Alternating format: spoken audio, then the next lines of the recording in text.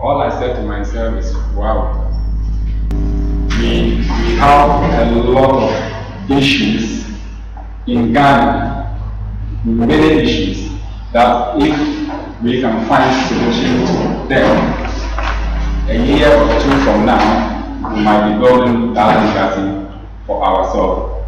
What I'm going to do this evening is I'm going to share my experience with you. And I was given 30 minutes of an hour. I believe I should manage 20 minutes. We have, if 30 minutes I have, we have 10 minutes talk. If it's, I'm able to do it within 40 minutes, then we have 20 minutes. If I'm done, then my story takes the whole 40 minutes. That we will not have any questions, but I'll manage.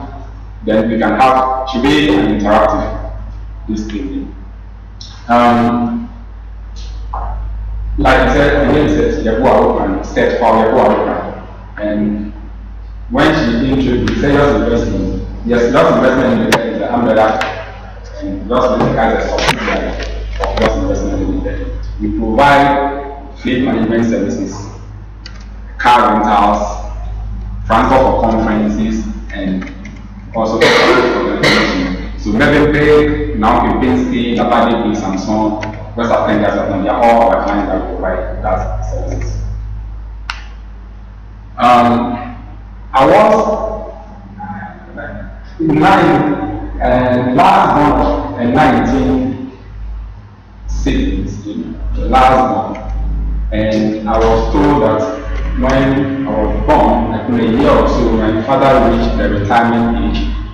So we relocated to town, the water region called uh, Bibofie. So I started my school from the Bibofie Primary School. Um,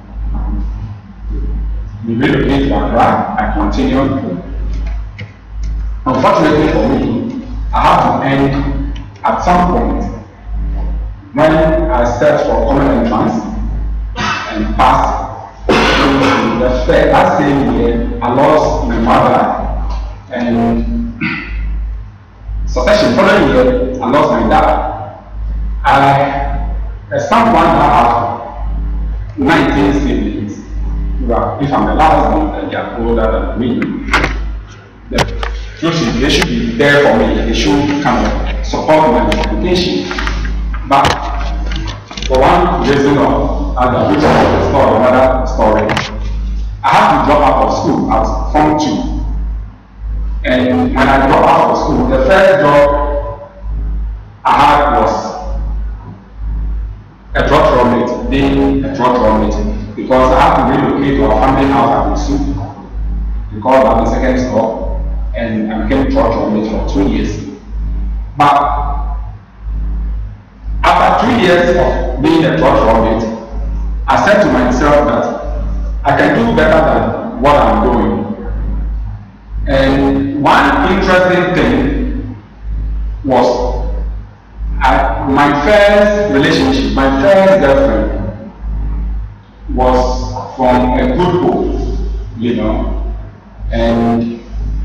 mother was so, so, so annoyed that why are you going out with somebody who is a church mate?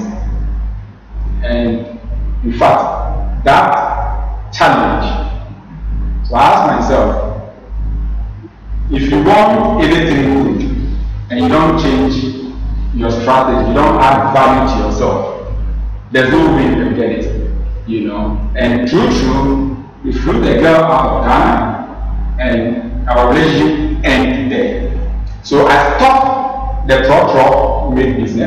without having any other job. Fortunately for me, I learned something from that, how to drive. You know, I knew how to drive then.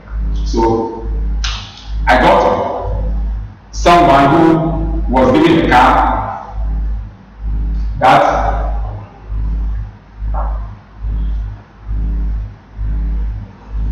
doesn't know how to and I taught this man how to drive. After we finished it, he asked me how much would I charge for that? And I said, oh, you give me pocket money every day, fed me, so I will not charge you pay anything. Then the man said, oh, I have a printing business. What we do, we print textbooks for junior secondary schools. So if you are interested, I can give you some on high test. You go and add your margin to it and you come in there. So I'll do it. So immediately I got the job. If you look at, I said, free, I will not charge, even though at this time I taught you how to drive. All I'm saying is that it's not everything that we need to charge money for it. You know, sometimes if you are looking at the bigger picture, there are certain things you can let go. So I got that job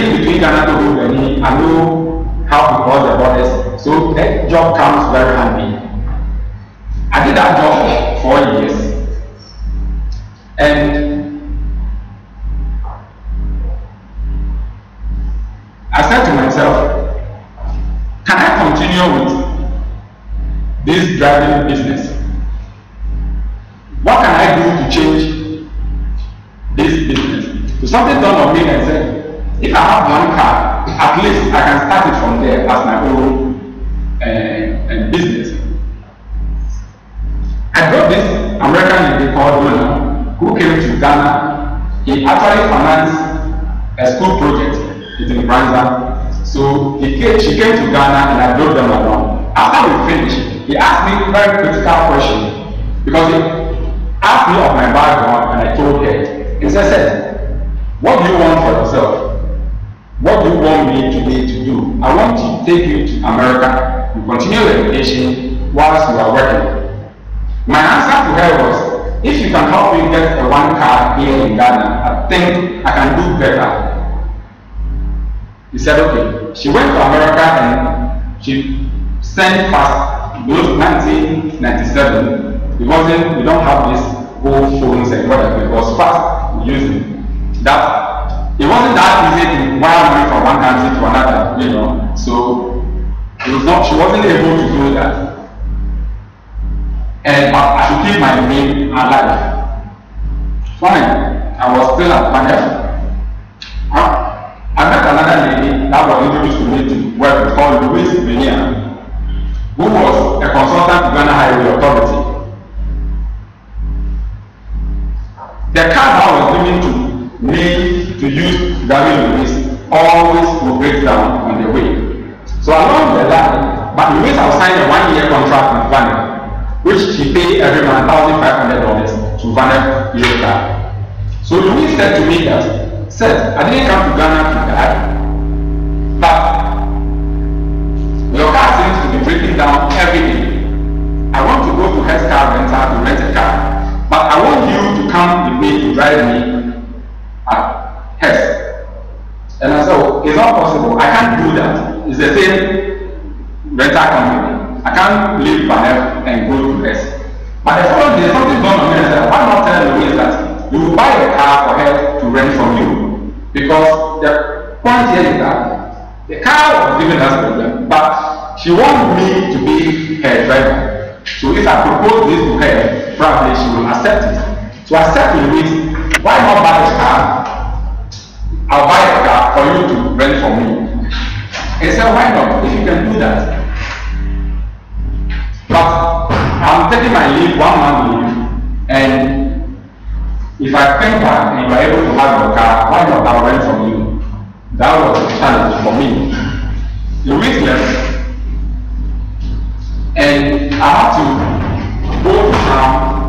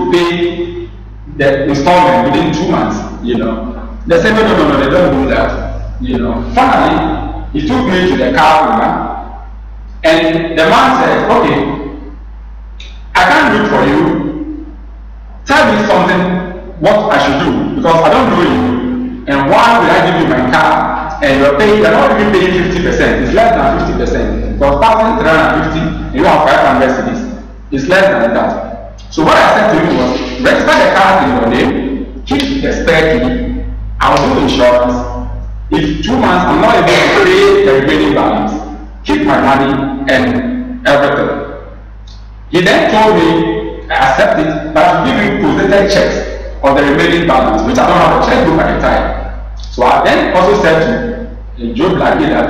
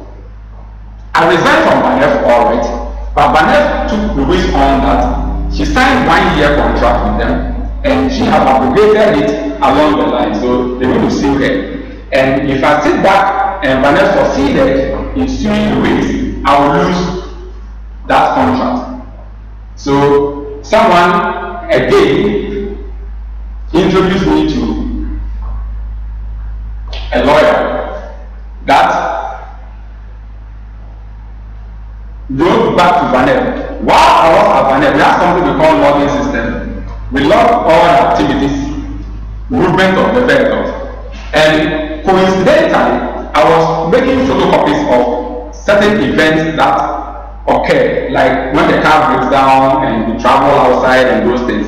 So it became so handy for my lawyer, my fine lawyer, responding to Vanessa, Louis didn't abrogate the contract. Rather, it was the car that was breaking down each day. That was why he changed the uh, abrogate the contract. Fortunately for me, that case also ended. So I was making thousand five hundred dollars for myself, and that contract was extended for another six months. So I have full year contract with Louis. At the end of that contract, I was able to buy used cars, two more in addition to what I have. I have three vehicles. Louise is going back to Canada.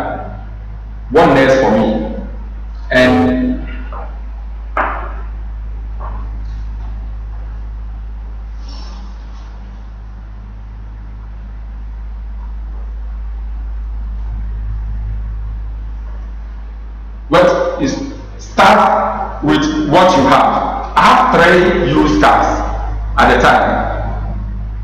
My working with Vanef, when I was working at Vanef, because I'm very hard working, I was shift from one division department to another department. I went almost all the department, including the fleet department. So I kind of understand. And Louise also, because she's a consultant, I was working with her directly at her office. So I also learned office administration and all that. So it became handy at the time and said, I have to form a company. So come yours. We have Y, which is one my name, O Okran, K Paul, and S is set. I'm set for Yabua Okran. So that is yours. So the year 2001, I registered the company with my three cards, three old cards. And even during that registration process, Ghana Tourism Authority, their requirement was you need a minimum of five cars, office setup before they give you a license. I don't have, I have three cars. I don't have office, so I don't qualify. I speak to a friend who gave me his office for the canvas. Let me put it that way. And another friend gave me his two cars, and I got the five cars requirement to get the license from Ghana Tourism Authority. So yours become an official car rental company in Ghana. But the question is, how am I going to get the business? I don't know. And I ask the question, do I want to be like, we call them say, you go to the most of the hotel, you see this car rental, you know, individual cars parked there. Do have, is that the way to go? Or should be a company like Valet? Or we have the middle, like the um, Jobesh and time, you know, we are doing very well, but they are not out there. So I have to make a choice. I decided to go for the Vanet side, Europe type, out there. So the little money I made from Vanet A, working with Louis, I printed my brochures, everything. I opened a bank account with my company business name at the time. And one key thing is, every money that comes to my hand, I put it in my bank. Somehow I'll issue the check and pay it, and then take it back for just that record that there's a transaction going on. Because many of us are doing good business, but if you go to the bank, one of the challenge we are not able to raise finance that there's no record. We don't keep records of what we do. My tenth one point was 2003 when Ghana hosted US, US Africa Sister City Conference for the first time. Sister City, there are cities in America that have twin cities in Africa. So the conference was held in Accra, Ghana. And I bid for that conference with my three cars, three cars. This conference is bringing about 400 participants, including six millions from America. At the time, a friend told me there's something wrong with me because you're looking at 400 people coming, you're looking at S-Class and you know those top-end vehicles. And you have Toyota Corolla, Nissan Primera, and you said you were going to bid for this conference. What I did was, I find out who the country coordinator was at the time, which was Prince One Blue Jersey. I did a little background check on him. I went to his office. When I entered, first question, young man, what can I do for you? First question. I said, well, I'm told you are organizing a conference, and I, I have a transport company that I I have all the cars you require. I know my research on him revealed that he liked Mercedes Benz. And I said, I'm going to give you a complimentary car, which is Mercedes Benz E class, if I'm giving the contract. Then he said, sit down. So I sat and we talked. Go and bring your proposal. All this, well, I don't have office because the office given to me was cosmetic for me to get the license from Ghana Tourism Authority. So my receipt book, my contract, everything is in my I drive with everything, you know. And when I'm having a serious meeting, I, I choose a hotel because I don't have office. And I don't want them, actually, because when they know I don't have office, they won't take me serious. You know, they won't take me serious. So we meet at hotels. We went through and won the bid to provide transport for Sister City Conference. The challenge here is that I said I have three cars. They are not new cars. So none of them even qualify to pick any of the dignitaries. And so how do you handle such complex situation? A contract. A contract is signed. But my experience from Vanef, driving and all that, I understand the industry. So I asked them that they will pay me 50% upfront. And then when we finish the conference, they pay the remaining 50%.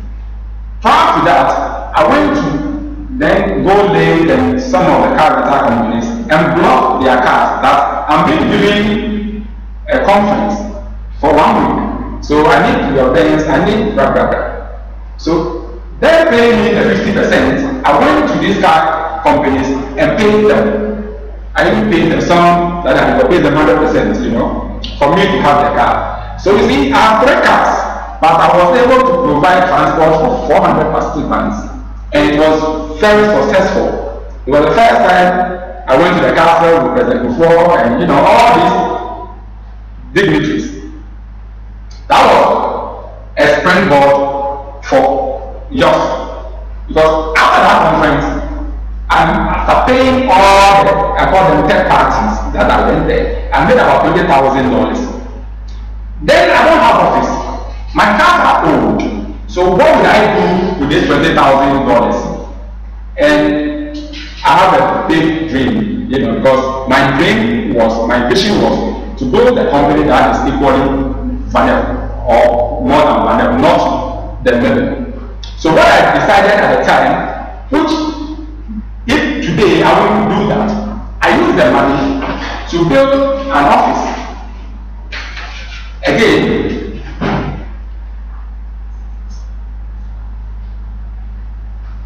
I'm saying that you start with what you have. Fortunately for me, my mother had a piece of land at Akusua Way. So after making that money, I spoke to my siblings if they would give it to me to put up I decided to put up a small container there to have an office. But a friend walked to me when we started dating. A friend came and said, said, Usu, you know this land. Why not do a storage building? So you can rent some and still occupy the part, part of it. All I have was twenty thousand dollars. My car was full. So I said, okay. And we did the foundation for a storage building. So we got to a point, the project stopped, stopped, you know, couldn't move on. My car will nobody will rent. Fortunately for me, I got someone to pay me to rent the ground floor. So I made money from renting the ground floor for four years to complete the whole building. So now I have office. I took four years advance, complete the whole building, give the ground floor to a pharmacy shop who paid the four years advance, and then upstairs became even upstairs are two more offices I went part and also, so I made money to furnish my office. Now I have office. All this time, every money goes to my account at Ecobank. Every money. That was around 2005. But we did a conference 2003, 2005. So, 2006, Eco, Eco Bank launched the First, for the first time that the bank started leasing, virtual leasing, was launched at the time. And I went there and I was able to get my first lease of vehicles because of my little little money I could into the account. So they gave me two cars and to add to my fleet. By 2000, later part of 2006, someone informed me that West African Gas Pipeline wants a transport company. They want to change, you know, their transport company. So they want a transport company that can provide transportation from Accra, Benin, Togo, Ghana, and Takoradi.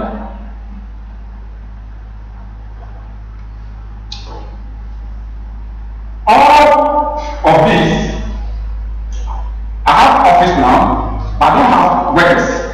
I don't have people to work in the office because my turnover wasn't good to hire anybody at the time. So what I did was I speak to friends that I know have expertise when it comes to proposals, when it comes to what I do, and we put a very good proposal together to West African Gas Pipeline.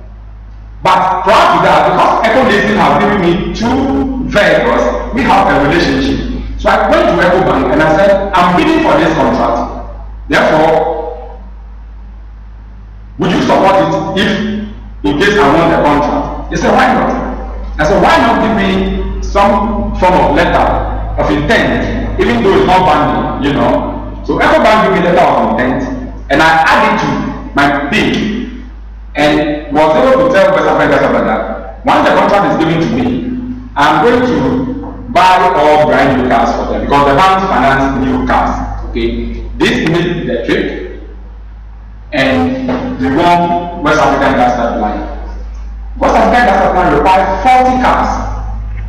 10 are Benin, 10 are Togo, and then Aboadze and then their office here in Accra.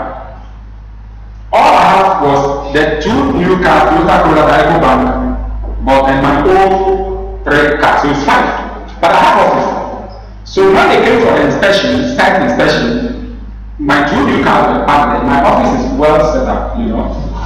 so, so, so so the site inspection was good for me. But during the negotiation, they asked me that When we ask you to start at any time, can you? And I said, yes, I can do that. Before then, West African Gas Company have a service provider already, but they weren't performing. Why are they not performing? The contract says that the drivers are giving allowance, ten dollars a day, okay? But when they pay them, they fail to pay the drivers their ten dollars. You know, they give them two dollars and whatever, and they felt that the drivers will be complaining, they will not be happy, and it's risk for their life because they will be thinking that they can cause accidents. That is the thinking. So they want to change them. But somebody within told them that the contract is being given to Yoks, even though they haven't signed anything, but everything is preparing, so therefore give it to Yoks. So you know what they did? They uh, sit down strike. They said to WAPCO that if you don't sign, renew our contract, we will not go to work. And Apple can stop operations for even a day, you know, at a time. So I had a call from Apple that said, you said you can start at any time. Even though initially I should be given one month to put my logistics together to start. Which I, my thinking was by then the bank would have bought me the vehicles. But they called me within a week and said, Well, if you have the capacity to start now, we'll sign your contract for you. The call comes around 5 a.m. And I told them I can do it. They look strange, but I don't say no. What I did was between 5.30 to 7, I was able to gather 50 vehicles. You know why? Because in business, one of the key things we need is integrity, humility. You know, when you say something, try to honor it. You know, don't think. So all these people, because I have dealt with them one way or the other. So when I during the Saturday conference, you know, I use most of them, they are there, and I pay them. So when I call that there's a project, oh, I need this cast, I have a whole cast, which none belongs to me. So we were able to sign the West African Gas Supply contract. And I started the project with third party. It took Ecobank two months to finalize the paperwork in buying the cars for me. So within that two months, I've, the money we make have to go to this third party. And bank, before you are giving the funds, you have to pay, they don't fund 100%. You have to put out 20% and then you 80%. So the question here is, how am I going to pay a provider? I don't the paperwork. All they need is I should pay my 20% and then they will release the cars to me. But that 20% also is the money that this third party to use it to pay them. So what I did was, Ecobank bought 25 cars for me, and the total cars in the fleet Waco fleet was 35. The five is on call basis, making 40. Okay. So I look at the 25 cars that my cars will come and replace. I use their money to pay the deposit for everyone to release the cars. Okay. And I sit with them and I said payment will delay a little bit. So give me one month and I'll pay you, but I'm taking their car off. So I pay the 10 that are working with me because I couldn't raise all the cars. Because if I don't pay them, they'll stop working. The question here is that these 25 that I have released them, they, they are not happy with me, but it will not hurt the business so much because the key thing we should always know always is that business is a going concern. Okay? So one is profitable and you going somewhere, you can pay the person, no matter what it is. But if you use the money to pay the person and the business is not able to run, you will have issues. Okay? So I was able to negotiate with them and I have my 25 cars. It was difficult, but we sailed through we sailed through it, you know. I want our to be conversation, okay? So I didn't want to bother so much on the slides, okay? Sure. So we have West African Gas Pipeline.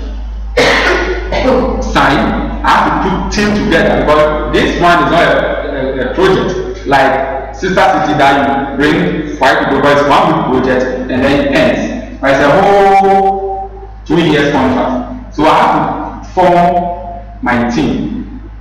So you see, I said you have to start in business no matter what it is. Just get it started. You start. You don't have to, you don't need to have all the expertise. You don't have to have all the things, all the money, because many times you hear people saying, and I don't have capital, I cannot raise money, and I don't have that. You know, all kinds of complaints why we are not able to start any business, okay? But I believe that when you start, you get people to help you. Those expertise that you don't have, people to help you fill those expertise. You know. I want so there's one month gap. I use the money instead of paying the third party to pay Ecobank, get the cars out. I owe them. So there's a gap. How do I fill the gap? Then relationships comes in here. I went to West African Gas the financial controller, and I said, I'm having cash flow issues because I have a contract. So if you can pay me one month upfront, it will help me stabilize. But he also said anything that I thought they could do to help me make sure that they get what they want should be there. So the financial controller agreed and paid me that money. So I was able to pay all the third party. So even the one month that I gave them, I paid them earlier before the one month. So what I've done is that I still have a good relationship with them. You know. So WAPCO project ran from 2000, later part of 2006, way to Ruonani. It comes to an end. The profit I made, I decided to invest it in office building. So I built my second office because the first one was the one the pharmacy came and you know, so I bought my second office. This time around, I didn't do my homework very well or whatever. The land is a government land, which I went to AMA, do all the documentation, and they it to me, and I pay. I put the structure on, on it. Six months down the line, one fine morning came to work. So what happened was, when I finished doing that, I leased the first one because that was around 2010, 2011. At the time, Movenpick Ambassador Hotel is coming up. And WAPCO has come to an end. And I decided that my experience with Vanef, I said I want to do something different. So I decided after Sister City and WAPCO, I realized that if you are providing corporate transport, it's better because when you have the contract, what I as partner in Chevron is a big brand name. So their contract alone allows the bank to give you facility. Because when you work the cash flow, the numbers, you know, three years you're able to pay for whatever amount the bank has invested. So starting from small to a big company, okay, this is what I did because I have the contract. I use the contract to raise, to go to the bank, to raise money, and then it pays off. So after three years, I pay off the bank, I own the cars, you know. So 2011, Movenpick was coming up, and I was bidding for that contract. So what I did was, I leased my first office, because I have a second one now. So I leased it, my dental clinic for 14 years, to raise money to do Movenpick project. Unfortunately for me, after finishing the paperwork six months down the line, AMA came, find money, and demolish the whole thing. Everything. And I asked them, I have the document, why not wait tomorrow? We can take our air condition. They were like, they destroyed everything. So I don't know have office again. And we were bidding, Movenpick said they will come inspection, you know. And I remember very well, bidding for Movenpick. The general manager said, said, Movenpick is a big brand in the world. So we want to be associated with brands like Europcar, Avis, Hertz, Budget, not yours. Nobody knows yours. Yours is a local company that nobody knows yours. But I told him, well, I agree these are big brands, but in Ghana, yours is the best. but he should, so I him to the challenge that he should visit our facility. I think a week or so, and our office was demolished, so I don't have office. The same strategy I used for West African Gas Pipeline, I used the same strategy to win Movenpick because I told them I'm going to buy them all behind Yuka. And the bank now have confidence in me because I was able to pay the 1.5 million given to me for West African Gas Pipeline project. That is everybody, you know.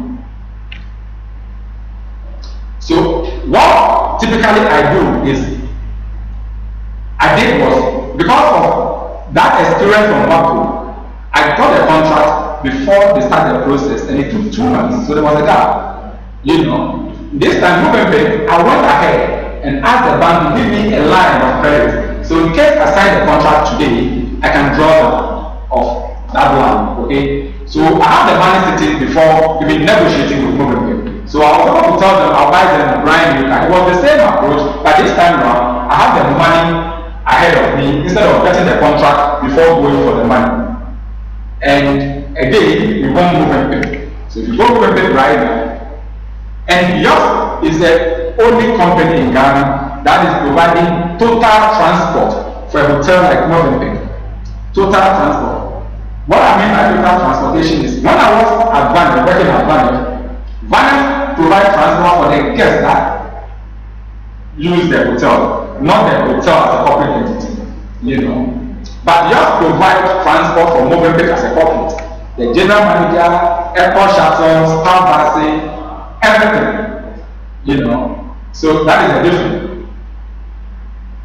I don't have the expertise in providing transport for hotel, you know. Even though I did something small with Abadi Beach Hotel way back, but I wasn't on that same level. But you see, the spirit here, you talk about the entrepreneur. I said all you need is you have to start it. Once you start it, you get people. I call them angels on assignment. There are angels all over. Okay? But how you attract them? It takes your attitude, your character. And and sometimes we go to church and you see people crying. I don't agree to that. Why are you sad? Because yes, because the Bible said Genesis 4 God created man and give man dominion over everything. He didn't say some of the things, okay? So you have power in you, but many times it is fear, self-doubt, and what brings about fear? For me, it's about if you don't know something, if you don't know your game, you are not sure of what it is. So you, you create fear, and once fear or panic step in, you can't think right and you can't get it right. Okay? So if you believe that you are a representative of God here on earth, then why do you be so sad and what have you? Have confidence in yourself. Because the angels are there. All they need is your confidence to attract them. But before you do that, you have to have the right attitude because even Jesus Christ was born through a human being. You know, people thought he should be on job from the sky to come. No. So our dealings with people. When I was talking, I was saying a friend introduced me, a friend introduced me, a friend introduced me. You don't know who that angel is. And sometimes I'm a jeans person. I came here with Hyundai 2012 Sonata. We have Jaguars, Mercedes Benz, and whatever in our fleet. Okay, the cars or those assets doesn't make me set. It's me. Okay, relationship with people. I go to places and your, your Lagos and things, you look at the look, the the look is like, who is this person? Okay? Until they want to know your status in society before they give accord you some respect for what you do. Okay? So for me, the angels work because you don't know who that angel is. Right down here, when you walk out, someone will approach you. You don't know the person your attitude, because all the people who introduce me to, some are drivers, they overhead their bosses in conversation that they are opening up a tender and whatever, you know, and they come and whisper to you that, hey, these people said they want to open tender and whatever, can you go and see this man and talk to him? I don't know. But if you don't have a good rapport, a good relationship with that person, you won't do it. You won't do that. So our relationship, and you see, it starts from right from school, even within your family. Because I said something that you don't need money to start a business. You don't need money to start a business. What you need is your vision and your attitude. You right. And sometimes you have wonderful ideas, but nobody trusts you to help you. Uh, maybe if you give me your money, you will be safe. Okay? So, and you don't have address. So no bank will give you money. So it should start from your family. They know you. You see? So if your family member can trust you and say, okay, take one million cities or take whatever it is, then you know over the years what you have built, you can trust you. Okay? The same thing extension to the banks. You have to have a track record for them to base on that to extend that credit for you. Okay? So our attitude is very, very, very important in everything we do. Okay? And if you listen to my speech, I said someone introduced me. Someone introduced me. Those are people I refer to, the angels on assignment. Because I remember very well, sometimes that's like even the invoice, you have to use Excel to calculate mileage, hours used, and all those details. I don't know how to do that. But I got someone who has that background to put it together. At the end of the day, the company won. Okay? So so so that is it. We want to move quick. And they are still not moving. As we speak, Kempinski opened last week and just also won the bid. Wow. Yes, and we are the sole transport company for Kempinski Local City Hotel as well. the same strategy, but it works because of integrity. You know, you have to have that to make it work. I'll touch a little bit on uh, cash flow. You know, like I said, you don't need money to start a business. You need your vision must be clear. If it is clear, you can explain it to the bank manager. You can explain it to your auntie. You can explain it, and it makes sense, and they're ready to come on board to make you realize that dream. Okay. And many times, what I realize is that we tend to fight our business without knowing. Okay, I told you that I dropped out of school at Form two. Okay, so how am I able to go to the bank, negotiate, and put all this together? I said, you know, I learned by, by myself. You can help yourself. You know, uh, for me, education is not only sitting in the classroom and you know taking lectures and whatever. No, you can help yourself, but you can only do that if you know what you want. Many people, the challenge we face in this part of our world is that we are not sure of what really we want to do. So we start something and little challenges, definitely challenges will come, you know. Then someone can say, no, now it's booming, we're going to China, you want to join. Okay, you haven't really done anything. People look at yours and think, wow, somebody, ah, how are you going to buy all these cars? Yes, because when we are buying, because it's a project. And see, what we have decided to do now is that we move for corporate. I don't buy car anymore for you to walk in to come and rent. But I never shared with the company. We agree for two years or three years I even asked the person to give me his choice of car. If you go to the now, we have Touareg, Jaguar, Villa Resistance. Those are choice. They want those cars.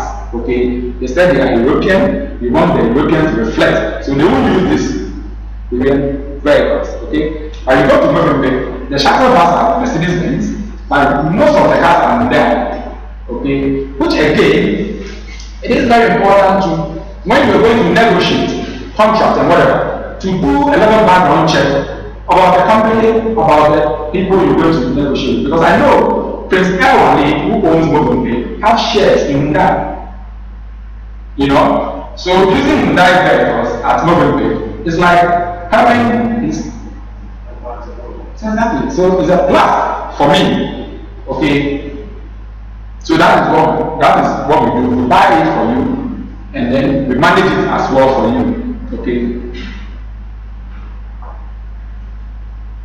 Cash flow. I believe that, in my opinion, your cash flow management to be in line with your business plan, your strategic plan. Because many, many businesses collapse or don't pass cross the five years. Because first year, about 50% will go, second year, you know, Why? Because it's not because the business is not profitable, but because of the cash flow management. Okay, you find that the contract is given you, and immediately the CEO buy Range Rover or S class is the cost to the business. Maintenance of that car, your lifestyle has to change, so many things. Okay, so you realize that any little shop, because as I was saying, I said our office at Laboni was demolished. You know, and starting a week from the demolition, we were able to sign on okay? We were still strong because of our cash flow management. Okay, those shops didn't let us uh, uh, fold, you know. So as you start, challenges will come, whatever will come. But if you, the leader, you know your strength and you are moderate, you will be able to expand the business to a level that all those things that you wanted for yourself will come. You know. Why I say your cash flow management to be in line with your strategy is that Sometimes business, if you look at the asset, the physical asset, the buildings, the materials, and whatever, you think the business is doing very well. But you realize that you can't pay salaries, or they will come and say, we need money for four, and you don't have the cash. Let me share this story with you. This man have companies, have houses, okay? But all he does is, he's not focusing on one thing, you know? Invest a little profit, you want to invest it there, invest, you know, you are overstretching yourself. And what happened? This man fell sick, they had to fly him outside. They don't have money. They tried to sell some of his properties to raise money. By the time he find the buyer, he's dead. You know, sometimes we tend to do because as the entrepreneur or the vision barrier, a whole lot of ideas come to your mind every day, and it's so exciting. You know, all of them wanted you to, you know, do this, do that. And people in society, if you're not careful, that is, if you don't know, that's what if you know what you want, will advise you, oh, why not try this? It's fetching.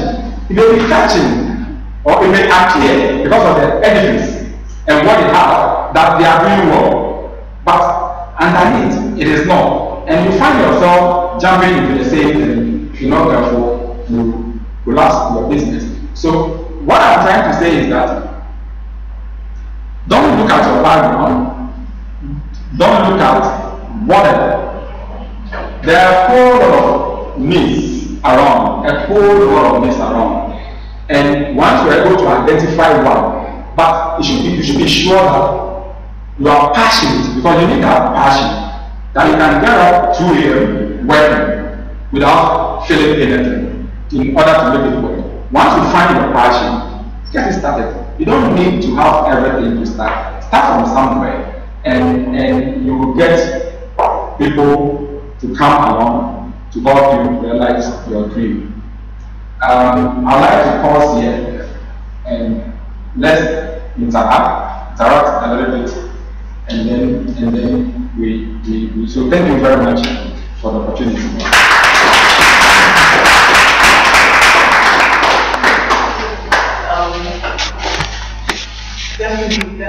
Eye opener for you. So you're starting from such humble to where you are right now. Uh, my, my question would be is, I mean, looking back, you mentioned a few times that you know, the, the certain mistakes, that obvious mistakes that you made, like you invested in an office to expanding your actual maybe it was a new investment. But what I want to understand is your human resource, when you getting the people to buttress your weaknesses. How did you come across them? I know you said people, there are angels out there, just to actually structure your yours and get the people to move yours to the next level.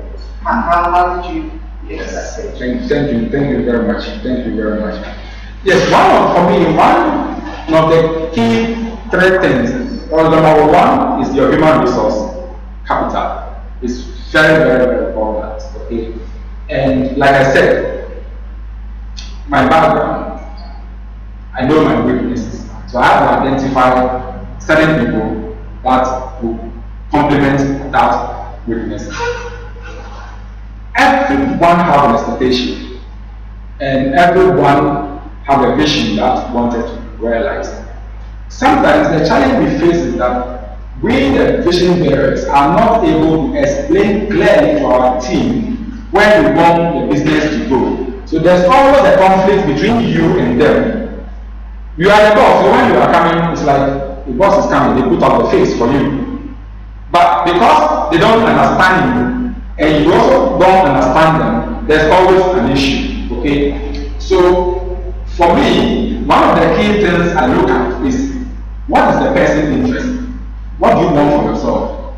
Okay? Once I know what you aspiring to become, it helps me to know that you can fit in here. And we also train, we spend a lot of money to train. My management team, for example, they feel like part, they feel part of the company, that they own the company. You know, it's for us. And and and the question I ask myself is that they are working every day, and I'm happy to say that today I don't get involved so much in running of the company because if you can basically from recruitment to whatever. I didn't even know. I didn't even know some of the workers now. Okay. So I can I can realize my vision because I said when I quit school, what I said to myself was I'll get a job, work, make money, go back to school. Now the business is different from me. Okay. The team, they are using their own strategy, they are making mistakes, I encourage them to go. They will make mistakes and will learn. But one key thing that draws us together is a teamwork. They understand me. And whatever I say to them that I will do. For example, we're going to win this contract. We finish and we make this, you guys will have this. Okay? And make sure they get it. So that, that trust is there, that relationship is there. When you say something, now listen, let's move our revenue from A to Z. When you get there, this is what you also get. Okay? You make sure you do it. If you, for one reason or the other, you're not able to do it, let them know. And also, transparency. Everything is clearly known. I don't hide information from them because if you hide from them, what happens is that they may be doing things that will hurt the business at the end of the day. Okay? So, it's working for me. You know, this is because I hardly wow, any of my management team resign you know, the challenge has to do with the operational assistant, which is the drivers, you know, because of we train them and people push them when we work with them, you know. And finding solution to that, what I have done is with next year we really we have set up training institute to train them because I realized that on weekends especially, Ghana the biggest social event is funeral is the biggest in Ghana. And top guys go to bar. They want to have fun, drink. Who drives them? So let's provide chauffeur services. You know, they will come and drive your car and to and back. Okay, but doing that also, I'm solving the takeover because now when my driver leave, I have already trained driver. Currently, when my driver leave, what happens is that when I bring in a new person, he doesn't fit in because they have to go through some training. Okay, so there's a gap. But once the training institute is running, we always have trained personnel that can fit in. And the deal I'm coming to have with them is that listen, if someone wants you, come see us. We will protect you. And if you go in, you can come back to the pool because we can outsource you to another person, which is working. Okay, so I think that you should you should have integrity. You should be open to your team and let them know where you want to go and are they part of it? Do they see themselves in that vision? You know, once you do that, they will come along, they will work their heart out for you.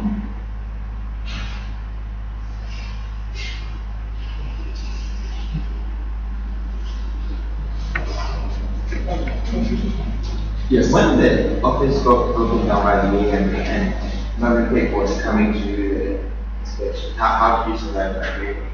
Yes. What, when the office was, what I did was, Joy FM came along and media, they want to talk, but they didn't speak to any media because I don't want to be out there. It's a negative publicity, okay? For for me and the new hotel that I'm going. So I, I was quiet about it. What, what I did was, I told them that I'll bring my cars to, instead of them coming, you know, I'll bring my cars because we have issues in our office. For one reason or the other, they, they didn't come, you know, they didn't, because I was able to provide them enough information, you know, and for me, what also made the magic for movement was during the one-on-one interview, Mr. Chase asked me whether I have worked for a hotel before. And I mentioned Abadi Beach Hotel because I have done something with Abadi Beach Hotel. So he asked me, who can I mention at Abadi Beach Hotel? And I mentioned Antigua. Okay, and he was blah, blah, blah, blah, blah. I never knew that Mr. Chase has once worked at Labadi. He actually opened Labadi Beach Hotel, which I didn't know. Okay, so if I've lied, it should have been Now what I told him was a true story. Not knowing Andy Boafo has been hired by Movenpick, which I didn't know. Okay, so he asked Andy what I said, and Andy confirmed exactly what I said because that was the story.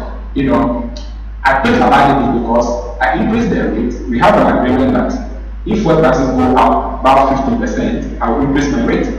Fuel went to 25%, but they didn't want to. So I stopped because that will affect the quality of service I give them. You know, so I, and, and that was what I told Mr. Chase. And they asked, and they actually confirmed that. So I believe we have enough information that the thing is okay to go with. You know, yeah. And my, my proposal, because my methodology, I explain how we're going to manage the transport by setting up, when you go to the airport, we have a protocol team there who meet the guests with the government placard, you know.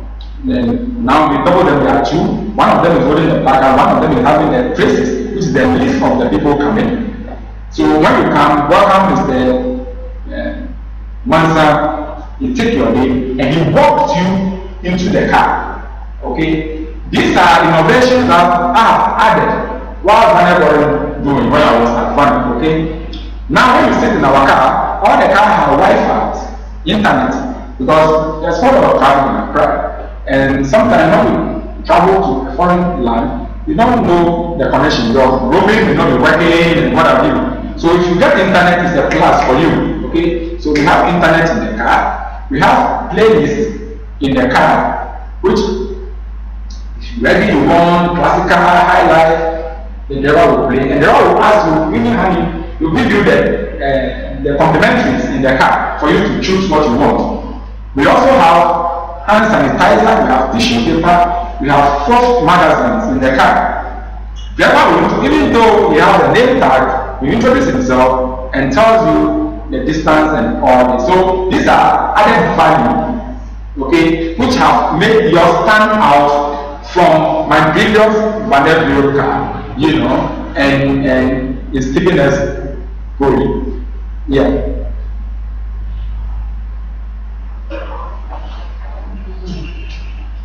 I, I want to understand that you, you, you described your journey, and I want to, it, seems like you know you, you have uh, a determined attitude to do things, and even when you're not sure what your next step is, you take on any opportunity that's going to what I want to understand is at which point did you realize that, okay, we're no longer uh, make some money, then we make our next decision in business?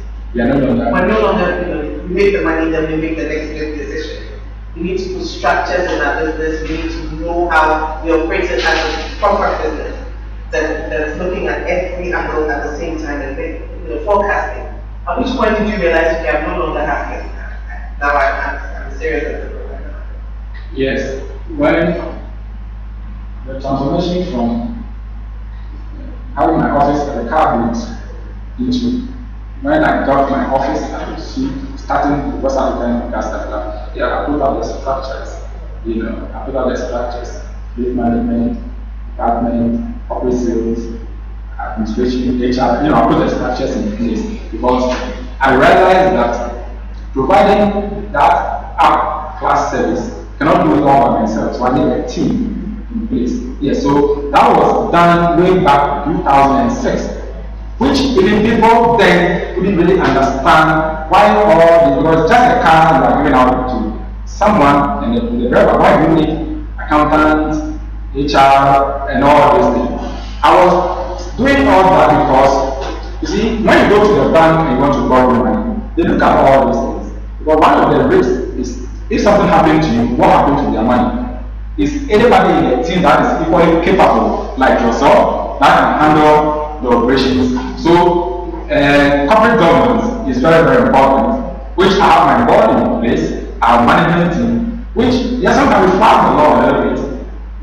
Whatever board says is what we do, you know. So, corporate governance is very, very important, especially if you want to move from that small business into uh, uh, well-structured business. You need this in place in order to attract and facilitate because you can't raise the money when you get to that level all by yourself. Yeah.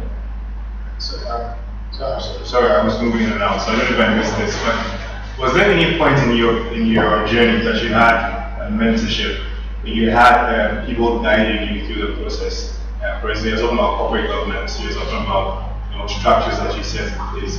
Um, I know that you've got some experience with Valet, which is where you were. But obviously, it wasn't you weren't in the management. I don't know. I think I missed that. So, in terms of growing your business and learning from your mistakes and getting above ground, were there mentors, were there people who were sitting you down and saying, this is what you should do at this stage, this is what's from my experience, you should probably do this? Yes, I would say I have a lot of mentors through books. See, people have written a lot of books all over, and when you read them, you get to know the experience. But the key thing is that you should know, you have vision, you know what you want. It is you. At the end of the day, you see, when you invite someone to come and help you or mentor you on what, you see, you should be specific. You should know what you are asking the person. That I'm going want to manufacture this plastic thing. Then someone can say, Oh, I know someone who is good with this one, so he can help you do it. Okay? So yes, people like Prince Kofi Amoabeng, there are a whole lot of people that inspire me how they made it. But I don't really have like one-on-one personal mentorship, you know. But like I said, you should know what you want. Once you know what you want, that brings about the vision, that brings about the passion in you, and that helps you to identify the human resource, the people you need around you, because your the inner circle, the people around you also very, very, very critical, you know, in for you to move to the next level, you know. So, so this is this is this is what I what I what I think. Yeah. I have two questions actually. So the first one would be a follow up on what you said. So at no point in time, apart from reading the books, did you have any person you went to for advice in terms of your business? Would you say you had someone, a go-to person, who was in the industry or who would give you some sound advice on what to do apart from the books you read? And the second thing would be that with regards to the transport industry, where do you see it going in the in the next uh, five years? What advice would you give to them apart from having a vision and having the right attitude and passion to, you know, to go for what you want? What other thing would you um, say that would help the transport industry in Ghana? Yes, I would say, as like I said, I don't have one personal mentor, but I have a team. See, when I realized after Sister City, when we the West African Gas Pipeline, I realized that the dynamics have changed. Okay, so I have a team which now form the board. Then it's what like a friend put together or a team put together. So when there is a proposal or there's something we're going to work on, they, they have various expertise from some are lawyers, some are you know various background to so I can say they are my advisors, you know. So we all sit down and they advise and then we execute. Now is the board. Then it, was, it wasn't that official like a board, okay? When I started way back, but I always have this team around me. You know, remember I was saying that what I think even the invoice alone was so tedious to do. There was someone there, uh, Nelson, who was a financial controller of Palm Beach Hotel. He sat for maybe an hour praying just to get the template right, get it done. Okay, so I can say that he advises me on that, and I have many of such, of such people. That's why I said that your inner circle, people around you, is very, very also important to guide you in realizing your dream. But you should lead, you must lead. You know, you should be able to tell them what you want, and therefore they will come with their expertise and get it done for you. And some they can tell you that this this this won't work. Let me give you an example. When to the PNC, okay, the team said, I said no, because it will overstretch us. We're going to borrow money, you know, the micro environment is not that conducive. Next year's election year, and you're going to borrow new money. So I said no. But the team said no, let's do it. The reason they gave make sense was our economy now is not that suffocated, okay? So what about if Kempinski is on the same par with Movenpick? The crowd moved from Movenpick to Kempinski. What happened to you at Movenpick? And what happens is that if another car rental company goes to Kempinski, then he will be operating on the same level that we are doing. We are creating a competitor that can be a even at Mobile. Okay? So we should go for it. And I believe what they said makes sense. So we, we, we're doing Kempinski, you know, so I have a team. Yeah, the second one, the transport industry, I think that we have a bright future. Um, without movement of people, there won't be any economy. You know, everything starts and ends with movement, be air, sea, land, and whatever.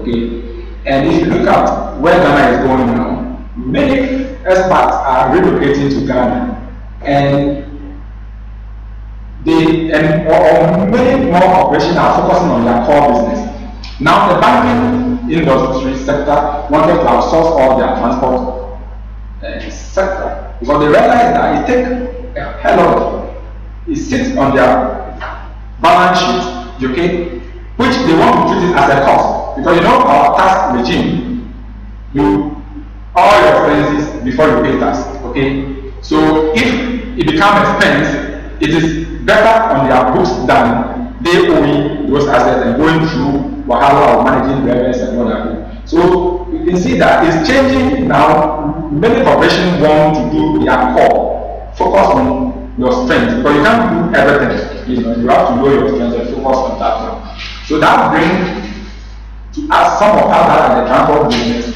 a business because we will be filling in that gap, solving that challenge that they have, become business for us. Okay, so Ghana, I think, in all our transport system how to look at Okay, I think that roll should be scrapped. We shouldn't have this short roll in, the system anymore. We should have properly, and I also believe that this constant flooding, okay, largely is caused by human attitude. When you go to there is no river, there's market, there is very short bars and everything. They eat and do everything. They put this the river. That's why yeah, the still is and the still is, and it's always the way it is my understanding, I was told that the ring road, which is circle, is the ring road. Then Accra is go around Accra. Accra was very small. Okay, now look at Accra. So those days, that station was outside Accra, outskirts of Accra. We should relocate all the major cities, like going to the northern sector, the nuclear station to go to After, Amasaman, whatever it is.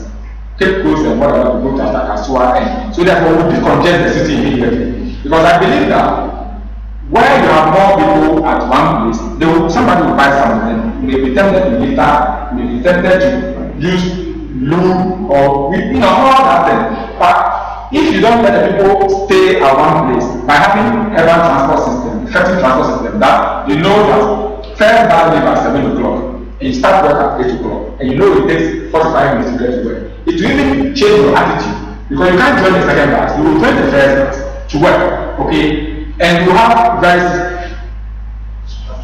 system you know. So the transport industry have a great future. Once our economy is growing i think we have a very bright future you know. But should be fun you know. We should add value to it you know. Yeah. So, so one um, last question. I, I don't know if I missed this as well. When you talk about training for your your drivers, I want to know what so what caliber of drivers do you first employ? What's the educational level? Are they literate, semi-literate, or illiterate? And with the illiterate or semi-literate you have them, what's your philosophy for managing them? You already explained the company culture, which is transparency throughout. But I want to understand, does that translate down to them as well? Yes. And how do you, in terms of the ideas and how they do things and you know their attitudes and all those things, how do you manage, how do you work them to shape so that they carry the vision of the company and feel Yeah. One of our core values are people development. Okay, so it's very, very important in the company. And next year will be our 15th anniversary. Wow. We're going to celebrate our 15th anniversary in Grand Star mm. because we believe we have something to celebrate, which is possibilities. See, everything is possible. If only you believe it, it is only you that can make it work. Okay, so back to the training aspect. We take from SS. We have some GSS who speak fluent you can should be able to speak fluent English and write. It's a, basic do, okay? Because most of the people we deal with, you have to speak and understand the English, okay? We train them on our culture. Because you see, you should know the meaning of Osu. Koforidua.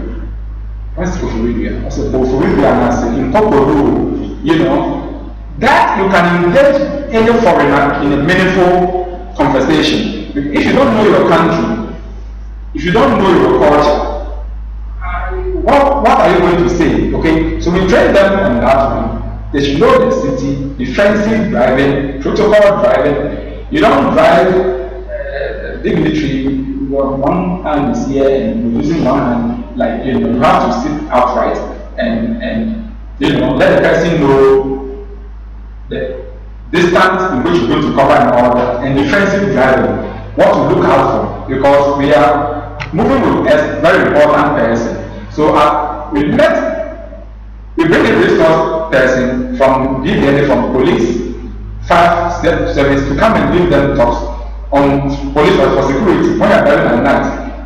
What to look out for. Don't let one particular car follow you for a long time. Or you know, those basic things. We train them on that, you know.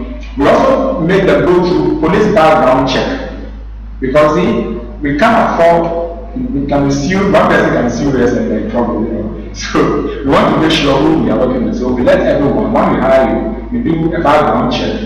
And every month, every month we have a program meeting, but within which we bring a topic, we can ask one of them to speak on if one sits in your car, what do you do? You know, if you have a customer in your car, what do you do? You introduce yourself, you tell the person the amenities in the car, tell the person, you ask the person the temperature in the car, whether it's too cold or it's too warm or all those things, and the person takes us through. Or any other interesting thing. So, so we get them involved, you know. And we have a supervisor that every morning brief them about the strategy for the day, you know. And it's, it's, it makes everybody integrated and us work as a team. Yes. Uh, I just wanted to know, was, was there any point in your life where you thought you had failed, and probably how did you come back now? Yes. When I finished Star City Conference, I made twenty thousand dollars. I used all the money to start building office. We got to halfway, I didn't have money again. My cars were old. So I realized I'm, I'm done, finished. Okay? And see, so that was a bad business decision. I should rather use the money, buy more cars, to give it more revenue, and use some of the process to be building. Okay, so the other way around. I can say I, I was almost, I thought that is the end, you know, because there's no, if I sell the cars to finish the building, I don't have cars anymore to work.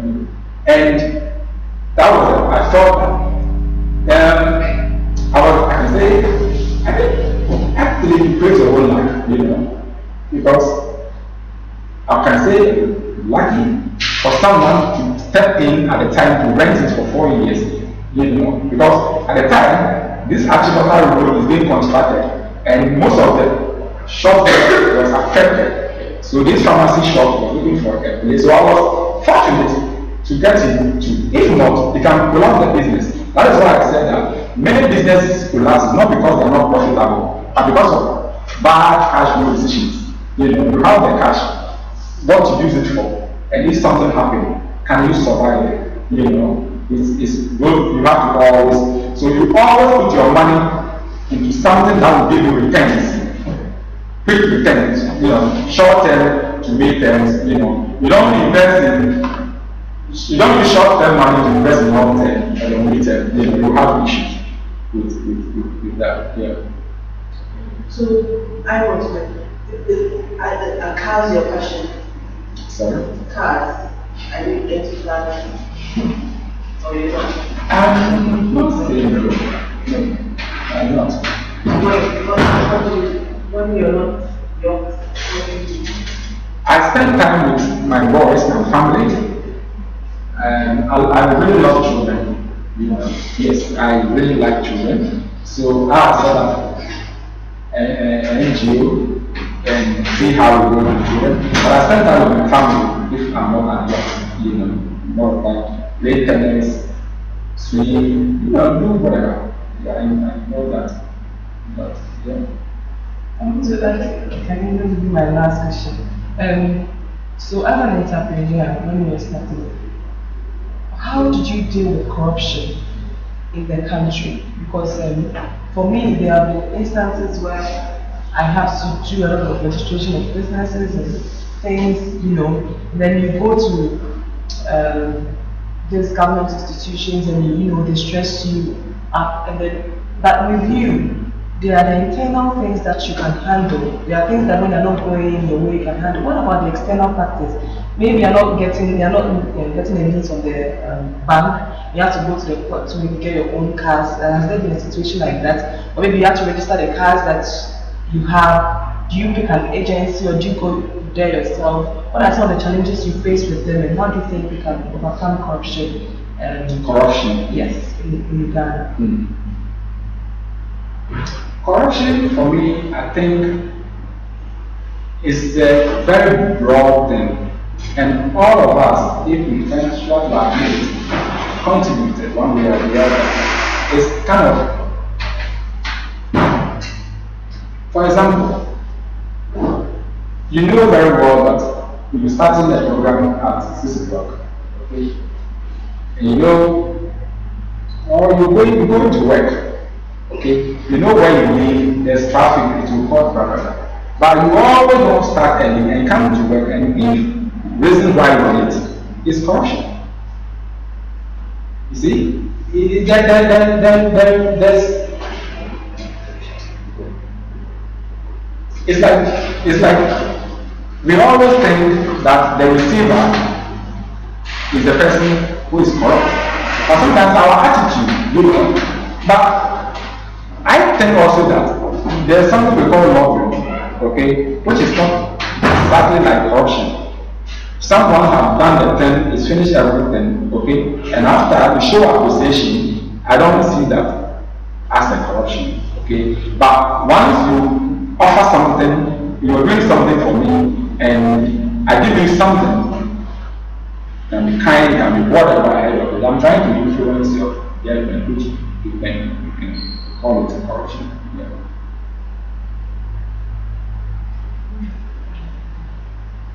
Yes. To add to what my sister said, not uh, probably about the corruption, but uh, in your personal experience, have you in any way uh, for a contract and you have fulfilled your part of the contract and for the company to maybe pay you maybe a balance for your contract and, and proceeds that you have to get from then and they be delayed and your personal post towards the balance that they have to pay you from your contract. Have you ever had any experience like that? Have done the work, you finish, and instead of the people paying you, they are paying and you become frustrated or something? Yes, I have had that whilst I was doing jobs for the government institutions. So I stopped. I had to make a decision, determination on that. And you, you should choose who you want to work with, you know. So I realized that you finish them and they it's taking forever for them to pay. And on and on and on. So there's nothing I can do just to wait.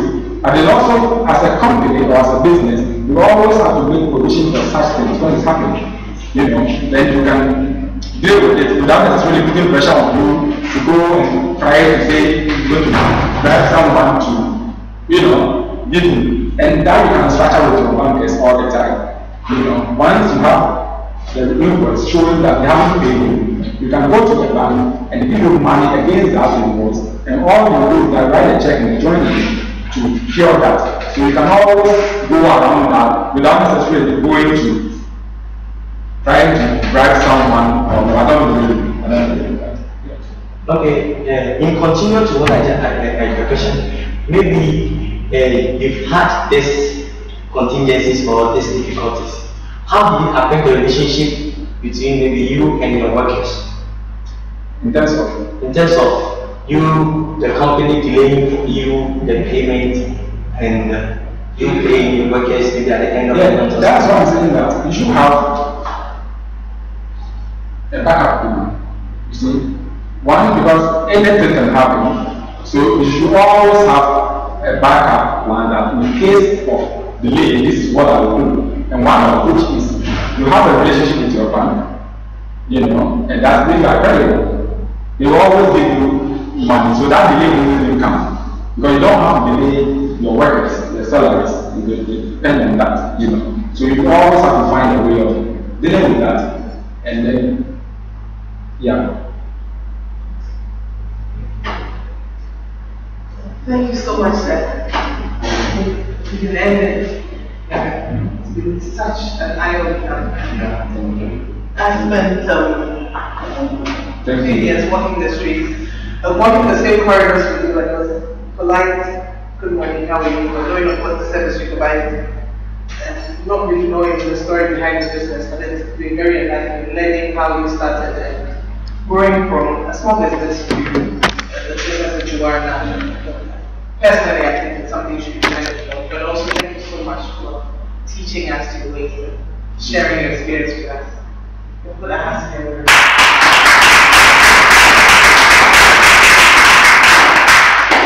Thank you. And God bless you all. Amen. That's one thing that I've been to always believe in yourself. Nobody can make it. It's you.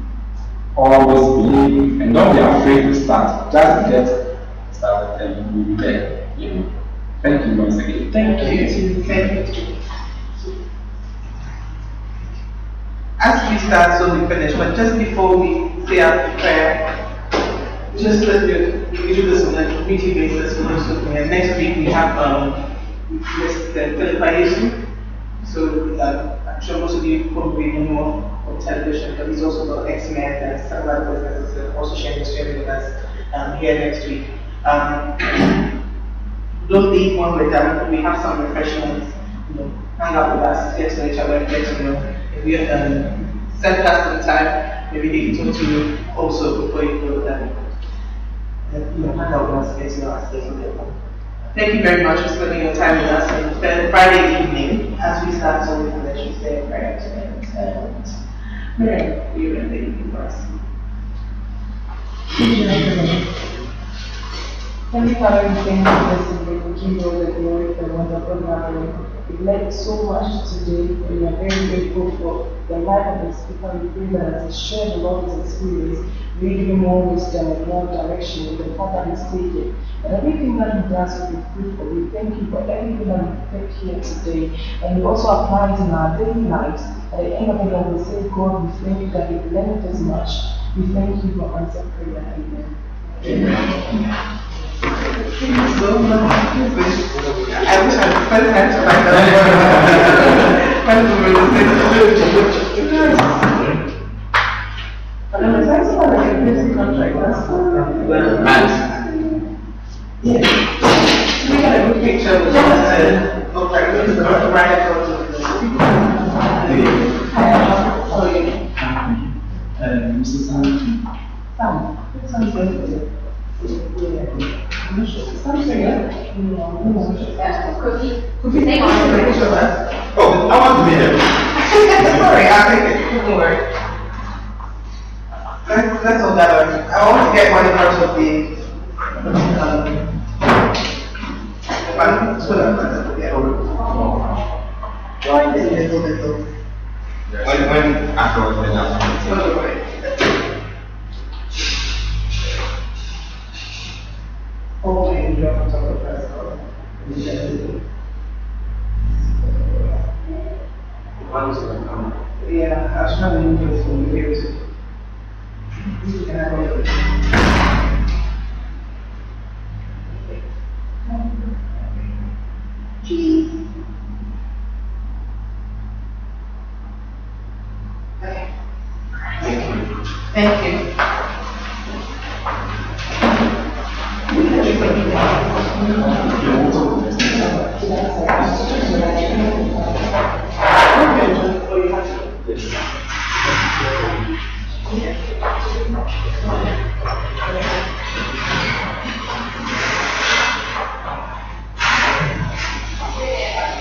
Big